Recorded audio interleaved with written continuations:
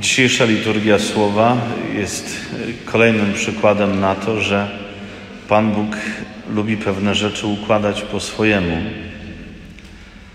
Kiedy planowaliśmy te rekolekcje, to wcale nie układaliśmy sobie konkretnych dni, co będzie potem, tylko kiedy rozpoczynają się i kiedy się kończą, no i potem przez kolejne tygodnie spotykamy się. I oto teraz, kiedy coraz bardziej przygotowujemy się do chwili prośby, modlitwy o wylanie Ducha Świętego, przeżywamy rocznicę poświęcenia Bazyliki Laterańskiej i słyszymy słowa, które są przepisane na tą, tą, to święto. Kiedy słyszymy te słowa, czy nie wiecie, żeście świątynią Boga i że Duch Boży mieszka w Was? Myślę, że to jest główne przesłanie, które Pan Bóg chce nam dzisiaj przekazać. Żebyśmy uświadomili sobie, że jesteśmy świątynią Ducha Świętego, każdy z nas. Myślę, że my często zapominamy o tym. Zobaczmy, zwracamy uwagę często na nasz wygląd. Staramy się ładnie wyglądać, staramy się kupować rzeczy, w których dobrze wyglądamy. Staramy się chodzić do fryzjera, jakiś tam makijaż, inne rzeczy, ponieważ chcemy jakoś wyglądać i to dobrze, żeby nie straszyć innych. Natomiast dzisiaj Pan Bóg przypomina nam, że nasze ciało jest przede wszystkim świątynią Ducha Świętego. To znaczy, że każdy z nas jest kimś wyjątkowym, że w nas rzeczywiście mieszka Duch Święty. Czasami sobie bardziej o nim przypominamy, czasami może o nim mniej myślimy, czasami zapominamy. Natomiast chodzi o to, żebyśmy my, kiedy troszczymy się o życie w łasce Bożej, pamiętali o tym, że jesteśmy świątynią Ducha Świętego.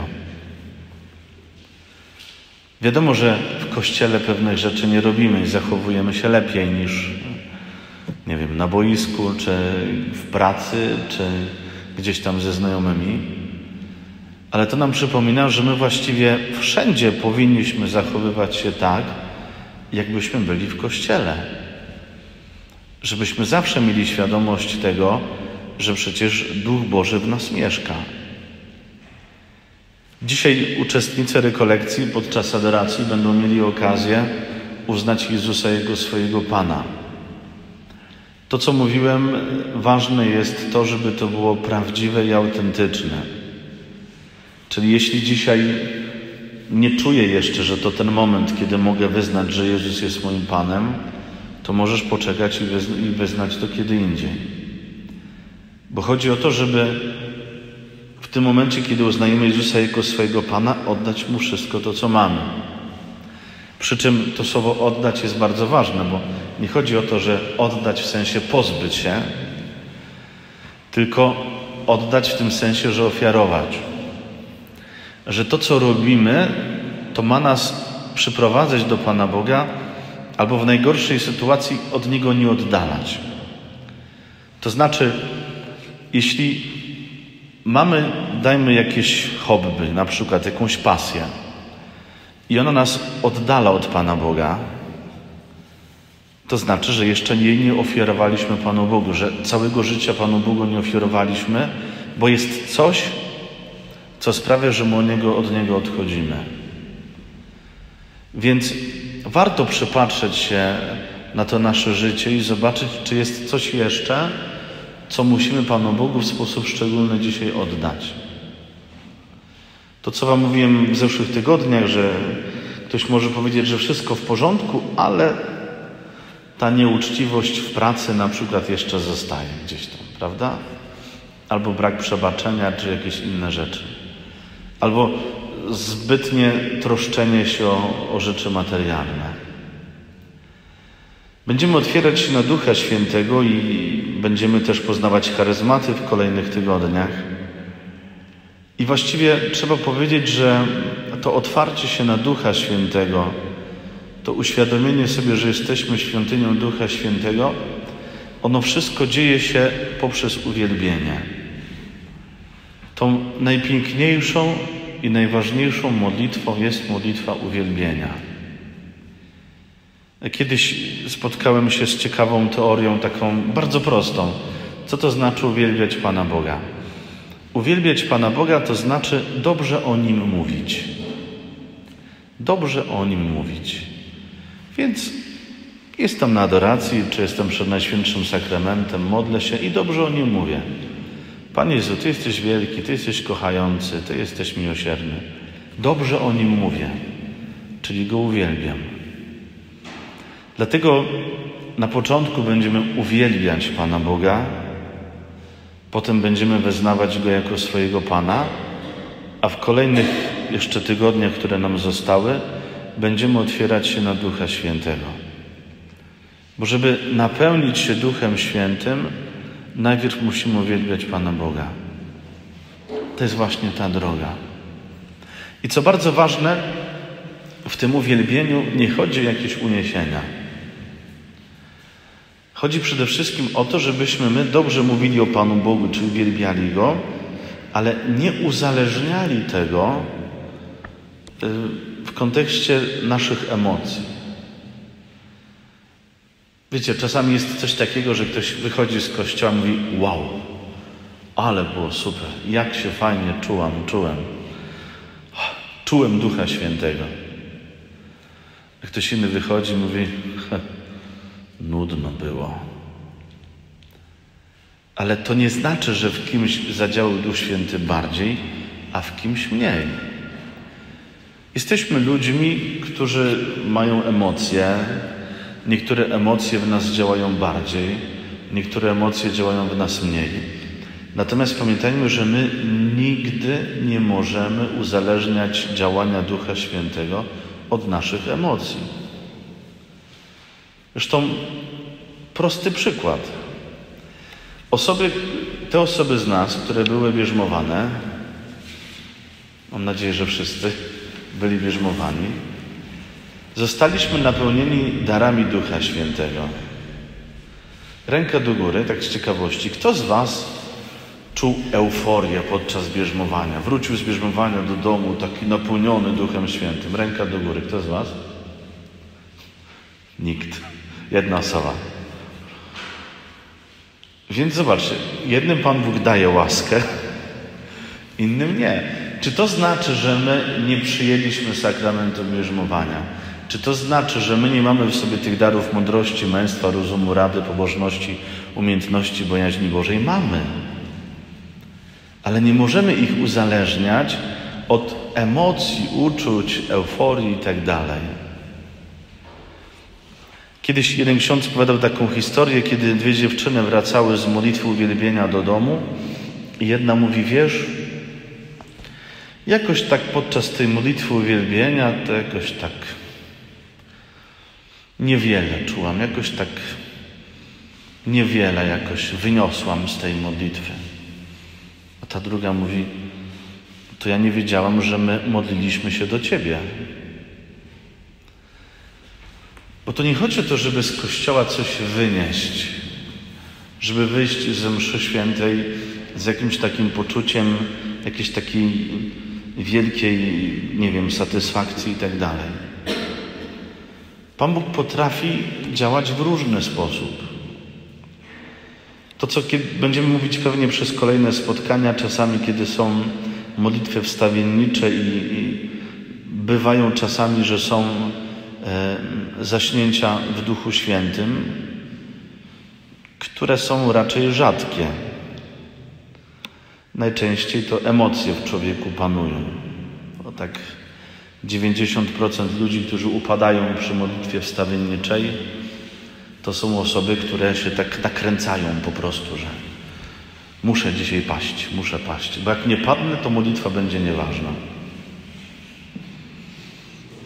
I pamiętam kiedyś, kiedy byłem jeszcze młodym księdzem, rozmawialiśmy z księżmi, taka rozmowa, ile ci padło? u mnie dwóch, u mnie ośmiu. Wow, ty masz moc. Wiecie, to było takie infantylne i, i dziecinne spojrzenie, właśnie poprzez emocje. I poznałem takich ludzi podczas różnych e, rekolekcji, różnych modlitw i tak dalej, gdzie ludzie uzależniali od tego, że jak on padnie, to on, wtedy modlitwa jest ważna.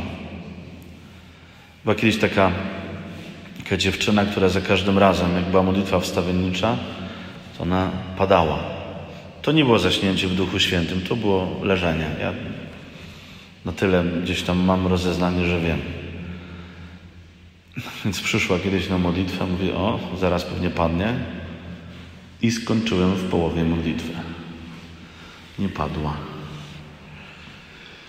Więc zastanawiam się właśnie, co potem się dzieje w takiej głowie, takiej osoby. Co modlitwa już nieważna jest? Więc wiecie, Duch Święty działa w nas w różny sposób, ale nie możemy patrzeć na nasze emocje i uczucia. Żebyśmy nigdy nie uzależniali tego, jak Pan Bóg działa, poprzez to, jakie mamy emocje, czy mamy radość. Czasami może być tak, że podczas modlitwy może przyjść taki duży pokój serca, ale nie będzie wielkiej radości.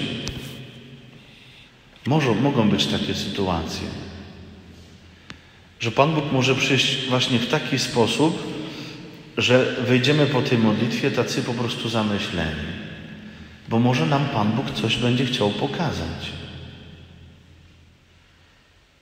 Oczywiście tym darem Ducha Świętego jest radość i tak dalej, te różne rzeczy, ale chodzi o radość duchową, a nie to, żeby się cieszyć.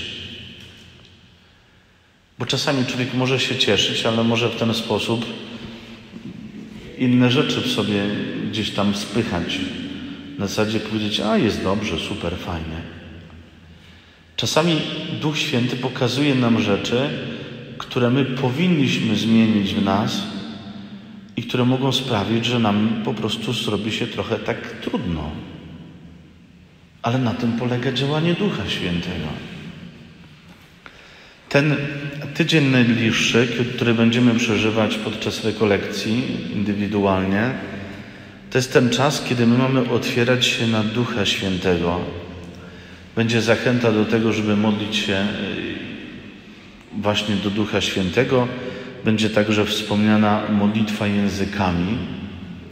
Dopowiem tylko, że to będziemy za tydzień więcej na ten temat mówić w katechezie. Natomiast modlitwa językami polega na tym, że ja modlę się do Pana Boga, wypowiadając różne sylaby. Czyli te słowa niekoniecznie muszą coś oznaczać. To tak jak dziecko mówi tam bla, la, la, bla, la, czy coś takiego i w ten sposób wyraża jakąś, jakieś swoje y, pragnienia, jakieś swoje myśli. Tak samo czasami możemy spotkać się właśnie w kościele z modlitwą językami, kiedy ludzie wypowiadają różne sylaby, które dla nas są niezrozumiałe. To kiedyś mi się takie świetne porównanie e, do głowy przyszło, że to jest troszeczkę jak teksty piosenek w disco polo. La la la la la. To nic nie oznacza, ale ma wprowadzić taki element radości w piosence. Że ktoś, kto się cieszy, mówi la la la, prawda? Te słowa nic nie oznaczają ale one wyrażają pewną radość. Więc y, modlitwa językami, o której będzie mowa w tym tygodniu w tekstach, ona polega na tym, że człowiek wypowiada różne słowa, różne sylaby, na przykład czasami, albo nawet samogłoski, i one są po prostu taką, takim dziecięcym e, wyrażaniem tej swojej radości. Więc to nas czeka, moi drodzy, w tym tygodniu. Natomiast dzisiaj kiedy będzie przyjęcie Jezusa jako swojego Pana, wracam do tej głównej myśli, nie patrzmy na emocje. Może być tak, że podczas przyjęcia Jezusa jako swojego Pana może pojawić się wielka radość. Może się pojawić. Panie Jezu, super, świetnie, cieszę się, jest. Chwała Panu. Może być tak, że przed przyjęciem Jezusa jako swojego Pana pojawi się, pojawiają, pojawią się łzy, które będą wynikać z tego, że my zrozumiemy, jak bardzo niegodni jesteśmy Pana Boga, jak mali jesteśmy, jak grzeszni jesteśmy wobec Pana Boga. Mogą się pojawić takie myśli, że Jezus, Ty jesteś moim Panem, a jestem taki słaby, taki grzeszny. A Ty mnie kochasz, Panie Jezu. Więc różne mogą przychodzić emocje, nie patrzmy na nie. Przede wszystkim zwróćmy uwagę na to, że my mamy takim aktem swojej woli powierzyć Panu Bogu swoje życie. I to, co mówiłem, kiedy mówię, że oddaję Panu Bogu swoje życie, to nie polega na tym, że oddaję wszystko, prawda? Że Jezu, oddaję Ci moje życie, wracam do domu, nie ma mebli, nie? Albo czegoś innego, bo oddałem je Panu Bogu. Wszystko, nie o to chodzi. Chodzi o to, że Panu Bogu je powierzam, to wszystko. Że Panie Jezu, Ty się mną opiekuj. Opiekuj się mną, opiekuj się e, tym wszystkim, czym żyję. Opiekuj się także moją rodziną. I niech to ta dzisiejsza adoracja, to dzisiejsze uwielbienie będzie takim zawierzeniem Panu Bogu swojego życia. Będzie także taką wdzięcznością za to, że Pan Bóg jest, że Pan Bóg się nami opiekuje, że Pan Bóg się o nas troszczy, że Pan Bóg chce nas prowadzić. Amen.